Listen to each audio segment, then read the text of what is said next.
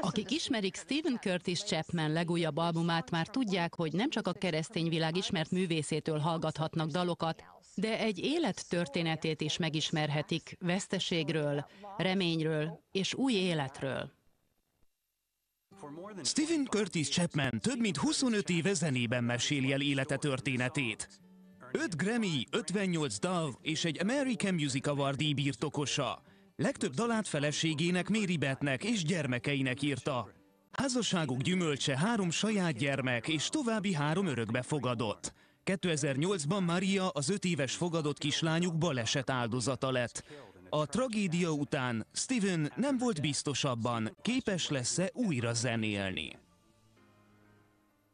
A történet folytatásával itt van velünk Stephen Curtis Chapman. Örülök, hogy újra láthatom. Köszönöm, nagyszerű viszont látni önöket. Nagyszerű. Hadd folytassam ott, ahol abba hagytuk. 2008-ban történt a tragédia. Nem csak a családjának, hanem szeretteinek is fájdalmat okozott. Rajongók és nézők együtt gyászoltak önnel. Nagyon is érthető, hogy feltette a kérdést, vajon ezek után képes leszek-e újra dalokat írni, visszatérhetek-e a zenei életbe? Mi hozta az áttörést?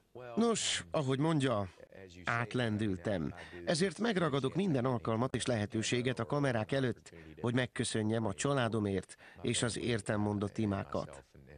Részben ennek köszönhetően ülök most itt, és ez az oka, hogy az éneklést olyan dalokkal folytathatom, amelyek a hitünkről és az igazságról tesznek bizonyságot.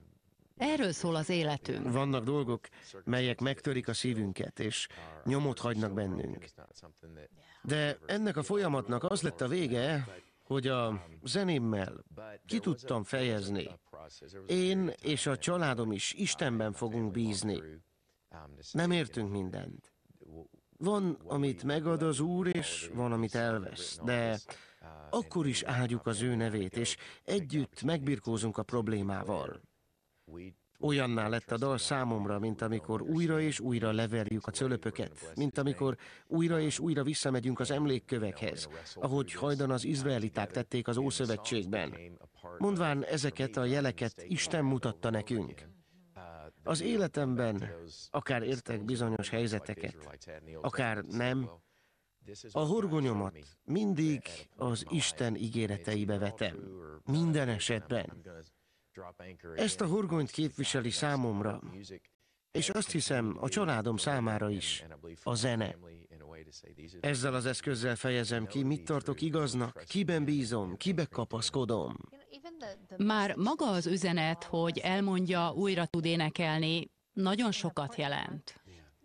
Legújabb lemezének címe Feltárul a dicsőség.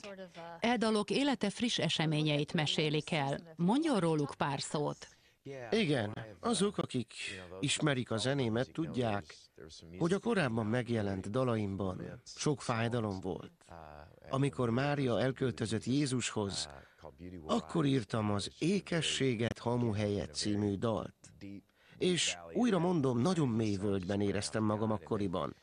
Szinte csak az Úrhoz tudtam kiáltani. Persze néhány újabb dal is íródott az évek során. Úgy érzem, ma öt év elteltével családom és én kezdünk meglátni valamit. Caleb fiam fogalmazta ezt meg még 19 évesen Maria temetésén. A legnagyobb fájdalomban, egészen mélyrehatóan, olyan ez, mint egy festmény. Közelről csak a színek kavalkádja és durva ecsetvonások láthatóak.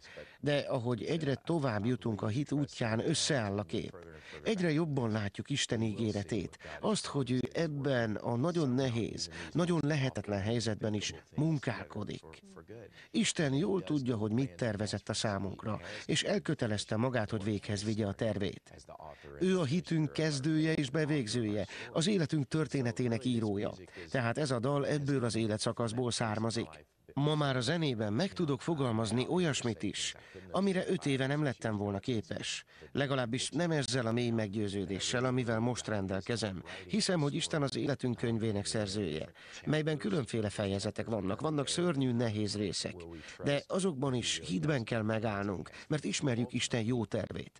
Így végül elénk tárul egy csodás történet, amit már az Isten szemszögéből látunk. Nagyon szeretjük a családját, és nagyon nagy bizonysága, hogy hogy Isten akarata megvalósult benne. Úgy tudom, a családtagjai is szerepelnek az új lemezén. Így van. Nagyon szeretek együtt zenélni velük. Gyerekkoromban is együtt énekeltünk a szüleimmel és a testvéreimmel. Rávettem apámat 74 évesen, és a testvéreimet is, hogy egy másik lemezen, a Gyökerek mélyről címet viselő Bluegrass albumon velem énekeljenek. A fiaim közül Caleb már régóta zenél velem.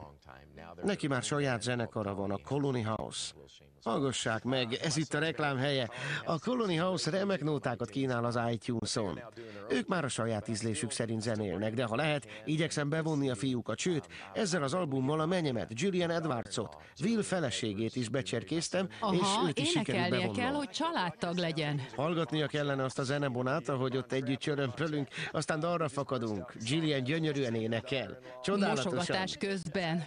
Énekelünk, zenélünk, csak Emily lányom hajtogatja folyton, hogy ő nem énekes. Rávettem a feleségemet és a másik lányomat, Stevie Joy-t, hogy együtt énekeljünk. Így készült a Hangot zenéje című dal. Valójában kellett egy kórus a dalokhoz, hogy sok hang együtt szóljon. Van egy kis házi stúdióm, így áthívtam őket, gyertek csak énekelni. Oda toboroztam őket, mert tényleg nagyon szeretem, ha a családom része a zenémnek. Már évek óta gombolítják a szálakat a dalokban, és mindig nagy öröm a közös zenélés. Rövidesen hallani fogjuk öntől a Szereteted elragad című dalt, amely nagyon mély jelentéstartalommal bír.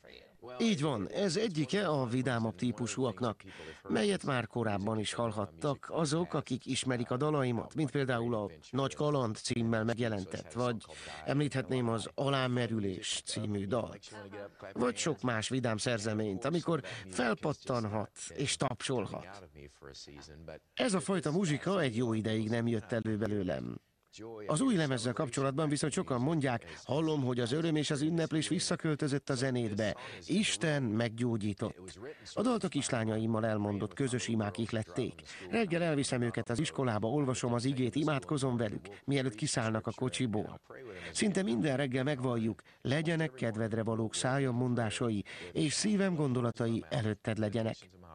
Most nem ecsetelném a körülményeket, de a lényeg, hogy vannak nagyon stresszes helyzetek, és szükségem van rá, hogy Isten uralmat vegyen igével az akaratomon, a gondolataimon, dolgokon, amiken átmegyek. A lányaim ezt nagyon jól tudják. Mondom is nekik, hogy gyerekek, imádkozzatok értem, én is imádkozom értetek, mert szeretném, hogy mindenre szeretettel reagáljak. A Szeretet elragad című dal így íródott. Útban hazafelé az iskolából. Ma is eszembe jutott, hogy amiatt kezdtem el írni ezt a dalt, hogy rávilágítson. Azért tudunk szeretni, mert Jézus már előbb szeretett minket. Csak úgy tudjuk szeretni a körülöttünk élő megtört embereket, az elesetteket, ha nem felejtjük el, hogy mi is azok vagyunk. És Isten mégis, teljesen, feltétel nélkül szeret bennünket. Ez a lábmozgató dal épp erre próbál emlékeztetni bennünket. Már húzom is a tánccipőm, közben ön is készülődjön, hiszen egy dalt fogunk hallani Stephen Curtis Chapman új lemezéről, melynek címe Feltárul a dicsőség. Erről beszélgettünk az imént. Kiemelném az Öröm című nagyszerű karácsonyi albumot is, most épp kapóra jön. Fogadják szeretettel Stephen Curtis chapman és együttesét a Szereteted elragad című dal előadásában. Love Take Me Over.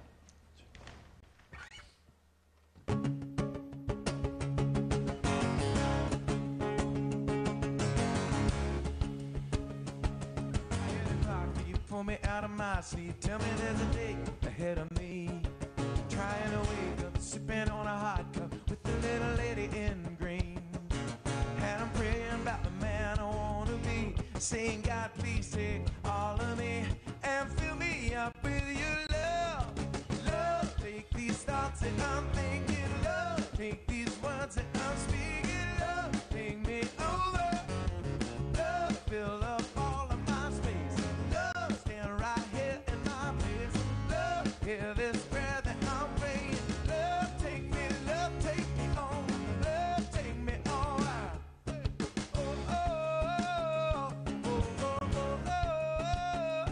This is what I'm sure of. I can only show love when I really know how loved I am. When it overtakes me, then it animates me, flowing from my heart into my hands.